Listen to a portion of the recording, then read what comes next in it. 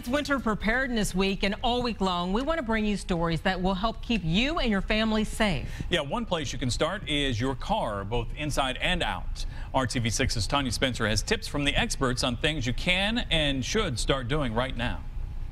From what you keep in your trunk to what's under your hood, the right preparations now could actually save your life if the worst were to happen and you were to become stranded in the cold. Before you start up your engine, Jim Reid at Indy Tire says you should make sure your vehicle is road ready for winter. That includes filling up your gas tank before snow or extreme cold arrives and getting an oil change.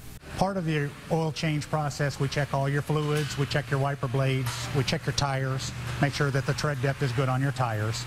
Uh, we also check your fluid levels. We check your coolant to make sure that your coolant is full and that it's ready for the harsh winter season we're getting ready to have. Also, check your battery and tire pressure. Many places will do it for free. And a battery that seems fine now may fail you in extreme cold. It is a strain on your battery, uh, also on your tires, the cold, harsh, harsh elements. They take in, they will mess with the batteries and also with your tires.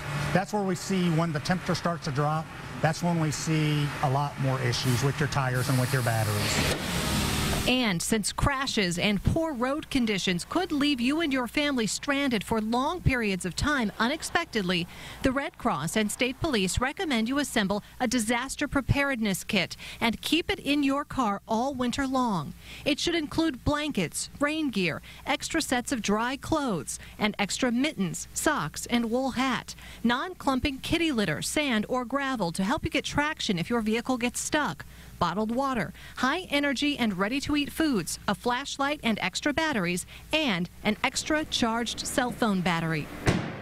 Hand and foot warmers like these are also a great idea. They heat up quickly, they're cheap, they're small, and they could prevent you from getting frostbite in an emergency. Tanya Spencer, RTV6. All right, Tanya, thank you. And here are six more tips. Keep some plastic bags in your car for your trash. Keep a stack of newspapers in your car. They make great insulation against the cold. Also, a small pocket knife or tools and a brightly colored cloth, preferably red, that you can tie to your car to signal you need help. Now, if you're stuck in your car for what could be a long time, make sure to conserve gas by running your engine for only 10 minutes every hour to warm up the car and also listen to some weather reports.